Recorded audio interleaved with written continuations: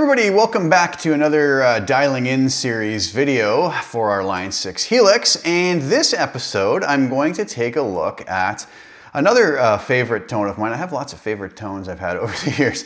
And this was actually requested by somebody last week. I can't remember who um, mentioned it, but it's, a, it's one that I've been meaning to get to as well, as I love uh, so many of the tones these guys uh, have on their albums. And it's the Stone Temple Pilots, or Dean DeLeo of the Stone Temple Pilots. So I chose um, to try uh, taking a crack at maybe getting close to his tone on the song Vasoline.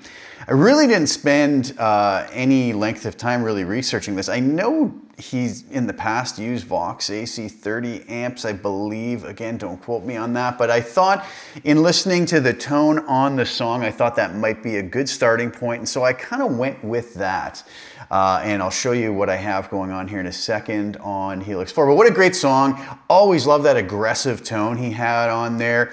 Um, I did a performance video for this, and what you're hearing on that is I was able to hunt down the backing tracks with no guitar, um, except the acoustic. There is an acoustic, believe it or not, doubling, uh, or not doubling, but just playing some jangly chords, and I left that in so I didn't have to you know, re-record the acoustic guitar. Uh, so I left that in, but that's the only other guitar that you're hearing on there. I was able to get backing track with none of them. So what I did is, uh, like the album, I doubled the main part, panned it hard left and right. So you're hearing two rhythm guitars panned hard left and right. You'll get to hear this solo guitar in this video.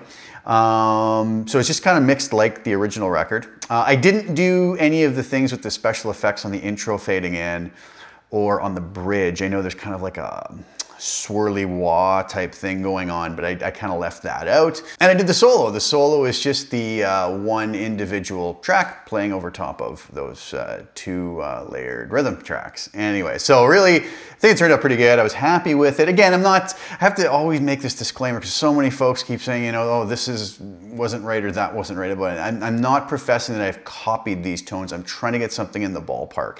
There's too many variables to be able to copy them. I'm not using the same guitar, the same same pickups, the same room and microphones that were used, you know, so it's just a matter of listening close, getting something that's close and going to be usable, very usable uh, for, for you know, most of the situations any of us will likely be in. So I hope you guys like this one. So let's go over to HX Edit and take a look. Uh, so as you'll see here, I have uh, six blocks and I combined the amp and cab into one block and a lot of folks might ask why. and simple reason, I kind of was hoping that this would work on Stomp. You know, now that we have 2.8, we can just load these up. I don't have to do a particular Stomp version. Um, and as long as uh, it doesn't take too much DSP, uh, should be fine. I don't see why this one would. So you Stomp users too, as well, should probably be able to do this. Don't quote me on it, I haven't tested it, but. So what did I start with? Well, I mentioned that I was using the AC30 amp, uh, or the Essex A30 amp, as it's called in the Line 6 Helix. Uh, but let's take a look at the end. Nothing new here at the end. LA Studio Comp, 5.5 uh, peak reduction, gain of 5. I like that just to glue it all together. Uh, I did do some uh, pretty aggressive EQing on this though. Low cut at 100, high cut at 12 kilohertz, which is sort of my standard template settings that I start with. But at 150 hertz with a, a low Q of um, 6.5, very narrow band. I boosted that 5 dB. As there's a real beef in the bottom end of this, right? And at the same time, I went to 300 hertz with a very narrow Q of 6, and I dropped that down 6.2 dB. So they're kind of like cleaning up some mud, but boosting some bottom. Uh, that, that, I found worked really nicely. I just kept my standard room uh, uh, reverb on, a decay of 5 and a mix of 30%.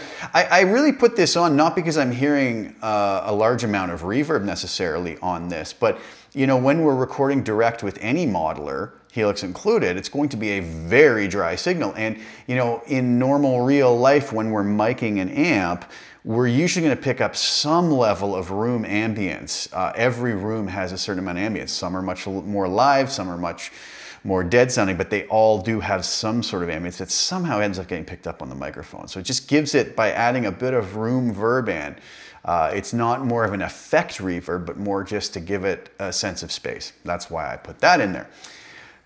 Um, I went with a low and high shelf uh, EQ as well. Didn't touch anything on the low uh, frequency, but I did go up to the high frequency and boost all the frequencies above 5 kilohertz by 4 dB.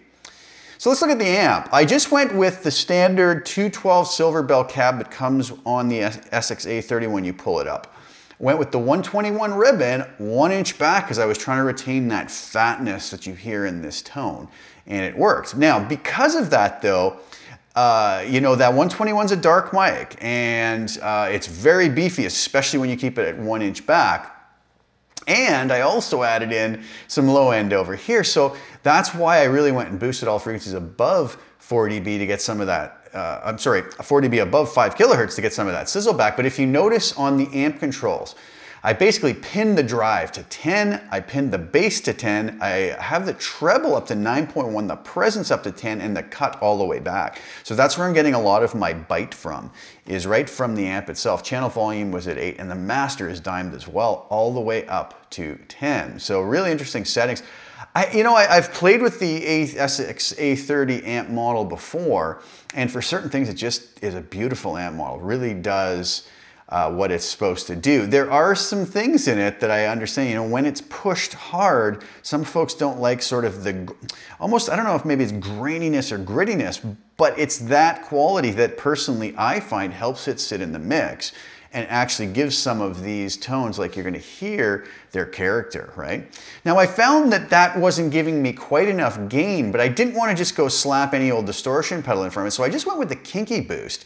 Set with the drive fairly low at 2.4, the boost on and the brightness on to get a little bit more of that, that um, that top end sizzle in there so that it sat in the mix really well. You guys can go listen to it in the mix and tell me what you think. I thought it sat very nicely. It cut, but it wasn't abrasive in the mix. So, you know, a lot of times these tones, when we play them outside of the mix by themselves, they're going to sound edgy and, and high-endy, you know, and that's exactly what helps them to cut in the mix, you know. So sometimes we have to get past that idea that playing it in the room by ourselves, it's not maybe sounding the way we envision the sound in our head, but it's going to work live in a mix live or in a mix in the studio, right? So, so with this, it helped to push that amp into a little more saturation. Uh, and I got it kind of where I wanted it to be for, or, or at least close enough for what I was looking for here. So let's do this. Let's turn everything off, EQ wise, verb, EQ, and compressor. And this is just the amp.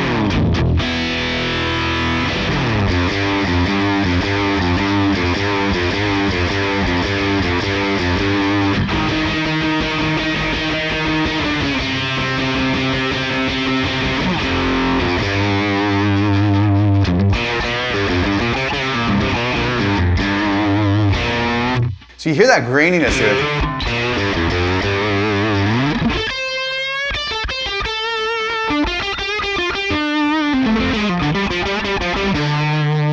I actually like that in there because it's really going to help things to cut, right? Okay, so what we could do then, let's turn our compressor on at the end, see what that does.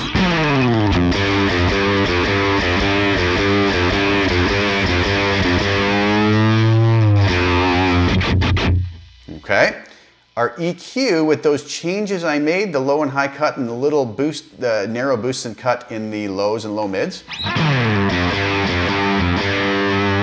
Off. Cleaned up some of the muddy low, but gave us some bottom still. Retained some of the bottom. Uh, put that room verb in.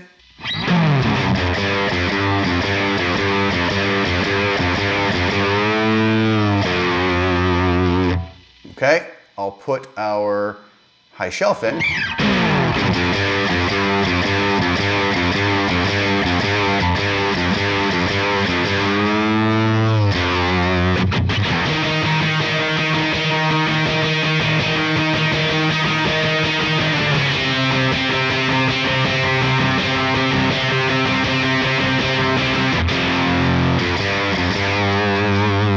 And finally, I'll add the Kinky Boost in.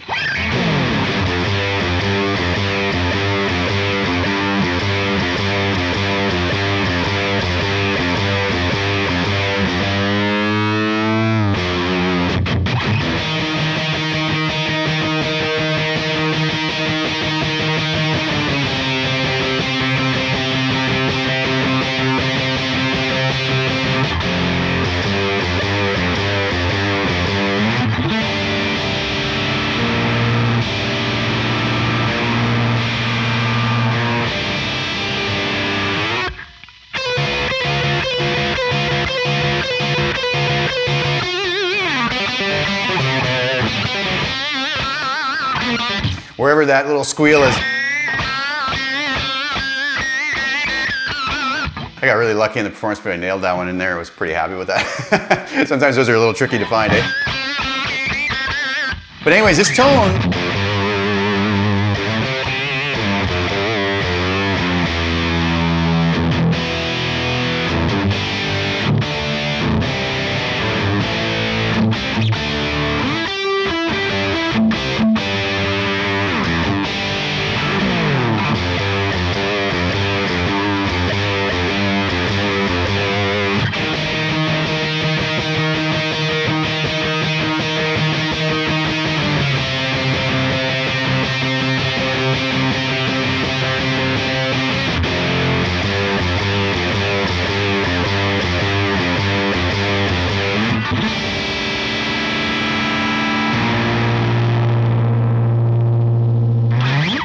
probably a lot of things in there a lot of people won't like. It's very grainy, right?